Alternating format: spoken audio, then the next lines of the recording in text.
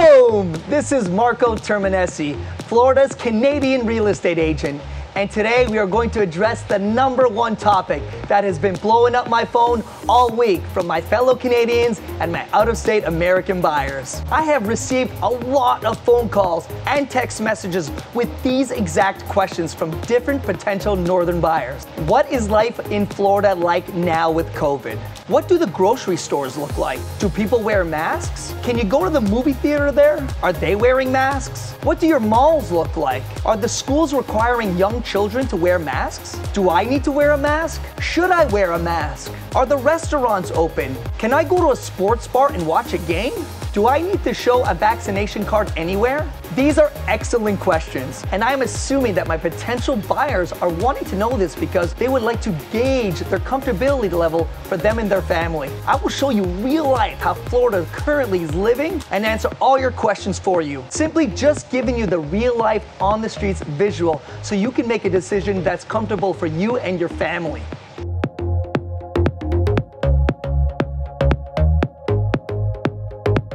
Okay, I want to start by taking you to the local Publix grocery store.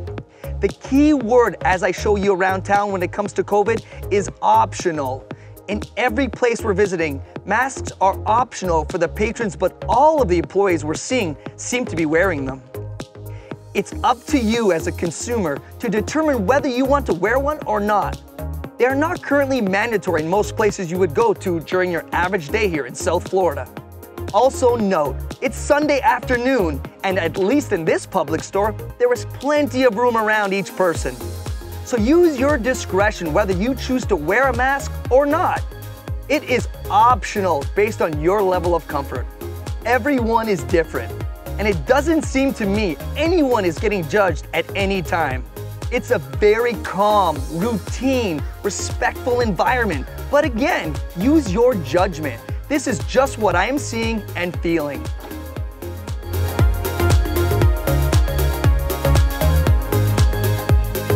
Now let's go to the movies. This is a beautiful, very new Cinépolis Theater. It was recently renovated for about $10 million, and it's one of the more upscale movie theaters in town that my family and I have ever been to. I got to meet the general manager here, who was so kind to let me film and walk around.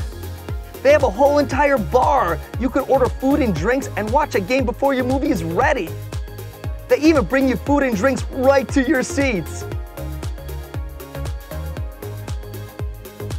As you can see, it's in between movies, so there are very few people here and plenty of personal space. All of the employees here have masks on, and you decide if you want to wear one or not.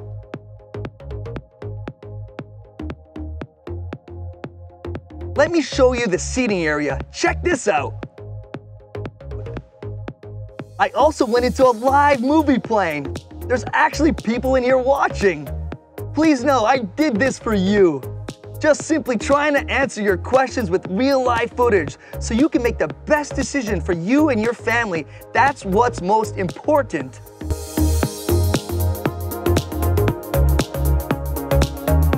All right, let's head to the mall and I'll show you what that looks like right now.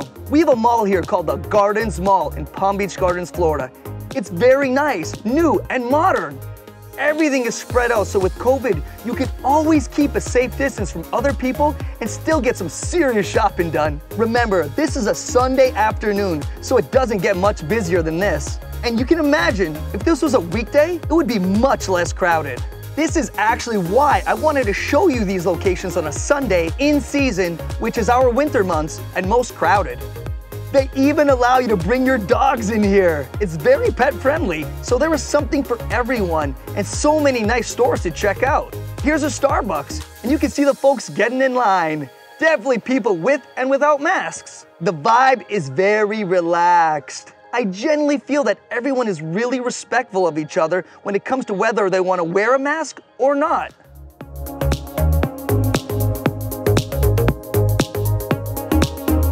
Okay, let's hit one of my favorite restaurants. It's called Guanabanas, and it's right on this little cool lagoon. Here you can see the live band.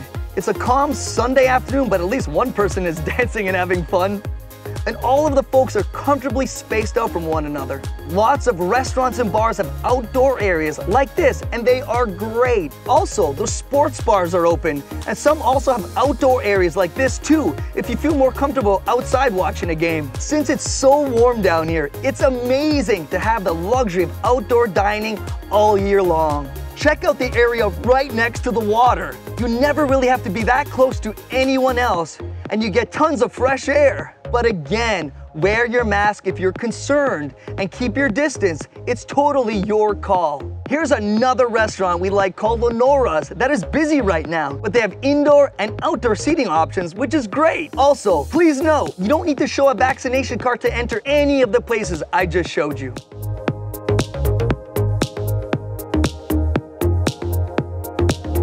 As for the schools, it varies on the counties and sectors whether it's public or private. It can also vary per week due to the different situations, so it's hard to give you a definite answer to what any school policy is at any given time. I can give you my current factual information on my own children's school, and they're currently on optional, so parents can decide if they want to have their kids wear a mask or not. I hope this helps you visualize what life is like here in Florida without physically being here. And I hope I answered all of your good questions that I've been receiving this week. If you have any other questions or topics you would like me to cover, please comment on this video and I will always answer honestly and respectfully. If you thought this video provided useful and helpful information, please slap that like button, subscribe to my channel, and don't forget to hit that little bell icon so you can get notified when I launch a new video. Your Florida Realtor, Marco Terminesi.